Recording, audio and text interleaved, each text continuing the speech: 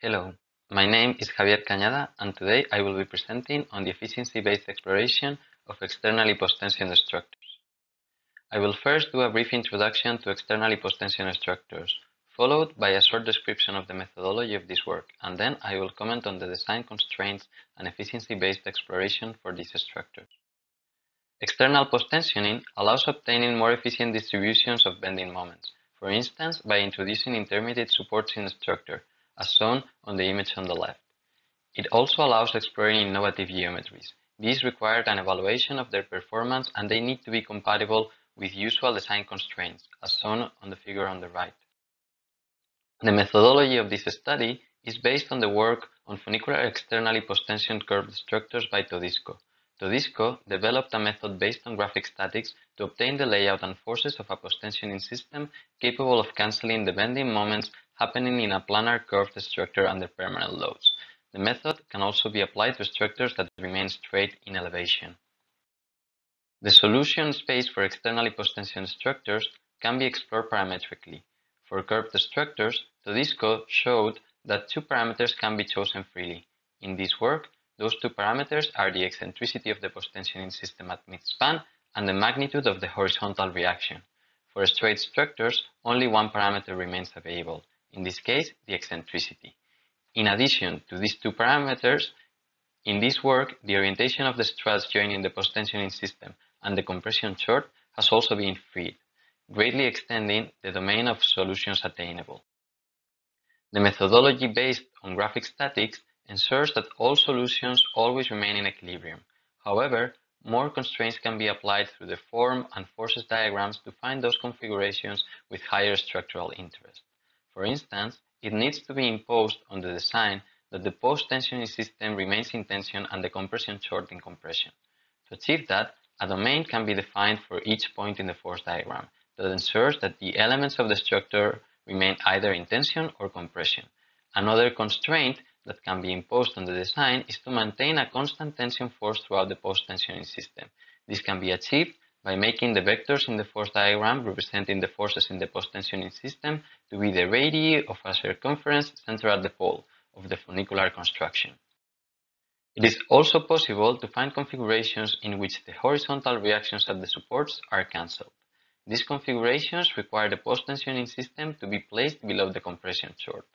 Finally, modifying the orientation of the struts, it is possible to cancel the forces in a certain number of them, which would eventually allow to eliminate these struts from the structure.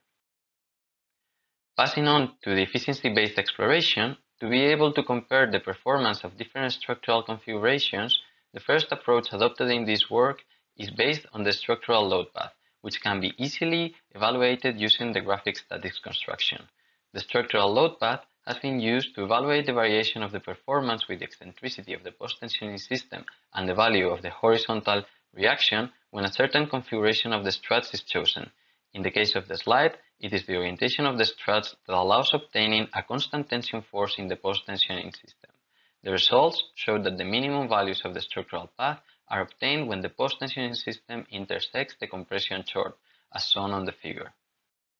Nevertheless, more configurations can be attained when the orientation of the struts connecting the compression chord and the post-tensioning system is freed, the figure on the slide shows the variation of the load path with the eccentricity for different values of the horizontal reaction when the orientation of the struts is chosen to minimize the structural load path.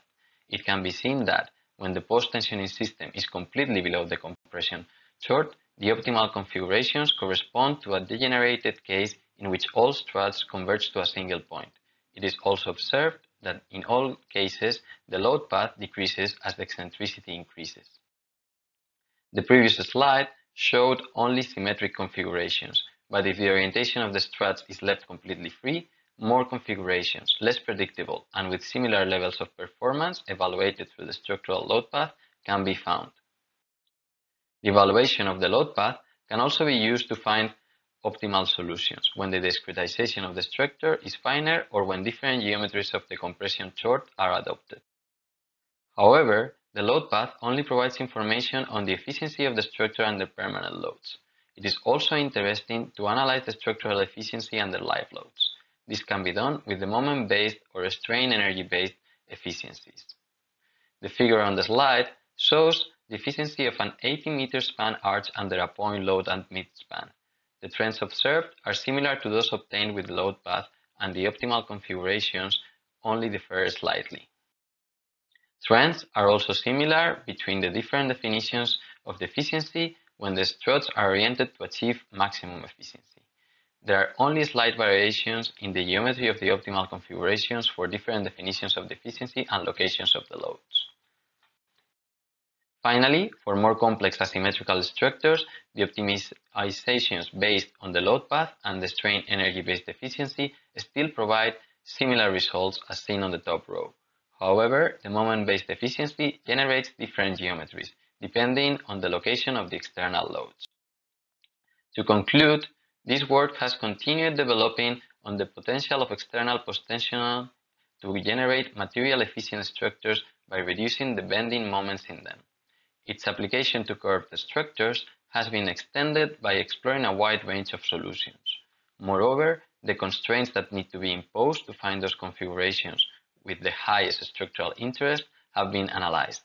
Finally, studying the performance of these structures with the aid of the structural load path and the moment and energy-based efficiencies has allowed to identify potentially interesting configurations that deviate from the most conventional solutions for externally post-tension structures. Thank you very much.